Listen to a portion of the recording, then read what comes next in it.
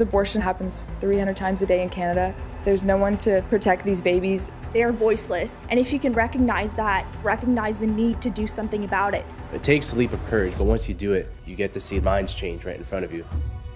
Every summer, the Canadian Centre for Bioethical Reform responds with our paid internships in Toronto and Calgary. I wanted to get involved with the pro-life movement, and I saw that the Canadian Centre for Bioethical Reform was the most effective changing hearts and minds. Hi there, what do you think about abortion? Every day of CCBR's internships, young people go out into the street to communicate with members of the Canadian public.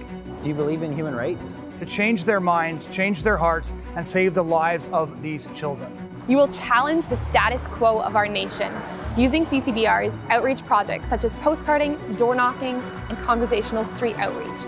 You'll get equipped with apologetics, strategy, tools to engage the culture and make a change in our country. Is it okay? Not okay? I was just talking to three guys on the street and we walked through how all human beings should get human rights. And by the end of the conversation, all three of them agreed that abortion was never okay. You will grow in skills and character, gaining friendships and community. There's a lot of things that make this experience worth it. It's the relationships and the friendships you get to make through it all. You'll learn public speaking, you'll learn leadership skills. Who do you think should get human rights? We use abortion victim photography and effective and compassionate apologetics. I've learned about why abortion victim photography is so effective. I've learned how to defend the pro-life position. Our projects reach Canadians with the truth about abortion, and our polling data shows that 67% of these people think more negatively about abortion. You will see countless people change their minds on abortion, and you will see lives saved.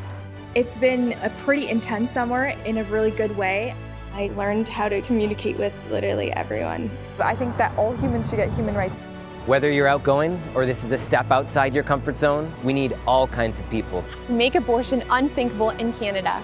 Be a defender of preborn children alongside us this summer. Apply today at endthekilling.ca slash internship.